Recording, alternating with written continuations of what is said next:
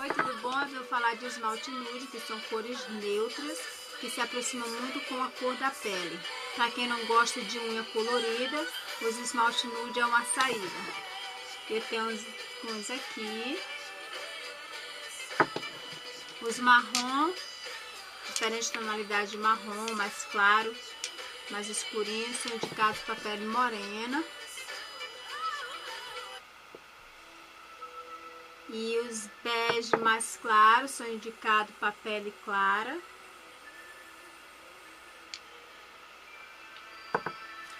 E esse aqui, que é um bege mais concentrado, mais fechadinho, que é o que eu estou usando, é indicado para pele clara, pele morena. Eu não sou branca, eu sou morena.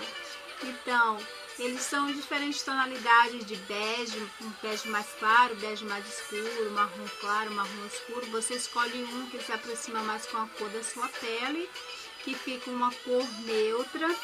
Quase não dá para perceber que a unha está pintada, mas tá. Então, para quem não gosta de unha colorida, os esmalte nude é uma opção.